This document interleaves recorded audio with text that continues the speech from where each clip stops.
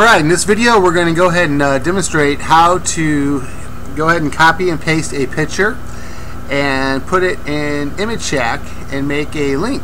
Uh, the first thing I did for this video is I went to uh, ClickBank and I just found a pro random program on fitness and uh, you know has a bunch of stuff here you can scroll and get your links but has these pictures you can use uh, you know I want to use this as a uh, just an example so I'm going to go ahead and right click on one of these pictures.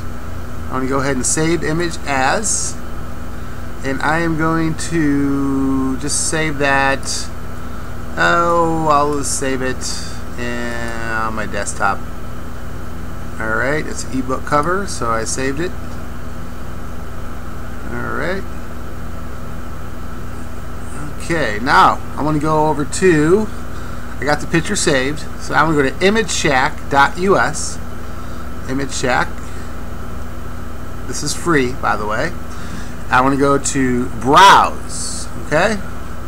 Then I want to go up here. May not be able to see that.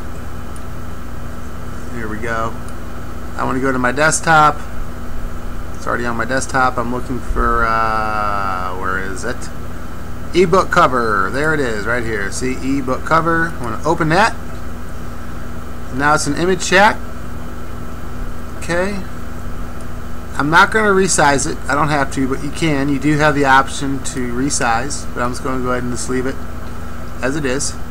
Then I want to hit upload now. So now that picture is uploading an ImageShack then after it's done you're going to see a link here, a direct link. Alright, you want to go ahead and right click, select all, copy that. Now down here I got a notepad, and this is the affiliate link I got from uh, ClickBank. So, what I'm going to do is take that link I just got from over here, that direct link, I'm going to go ahead and put that there Okay, there's the link that I got from ImageShack. Now, this link here, the ClickBank link, I want to copy and paste that ClickBank link. Okay, and I'm going to go back over here. Here, I can make this bigger. Oh, maybe not. Let's go back. Okay. I'm going to go to end of this link here, let me get this out of the way here. Okay, right after this is the very end of the ImageShack link, I'm going to put a comma. Then I want to right click, paste. Okay? So now, I want to go ahead and copy and paste. Copy that, excuse me. Alright, and now, let's say you wanted to put this picture, I don't know, in your blog. Let me go pull up a blog here. Let me just use one for an example. Uh, I'll use this one.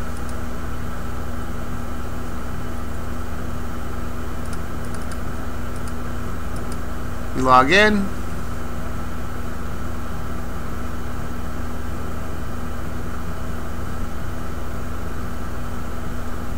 Okay.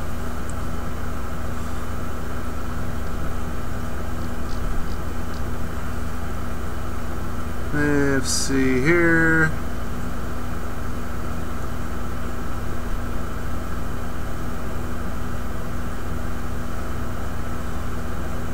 Actually, I want to use a, another one. Hold on, bear with me.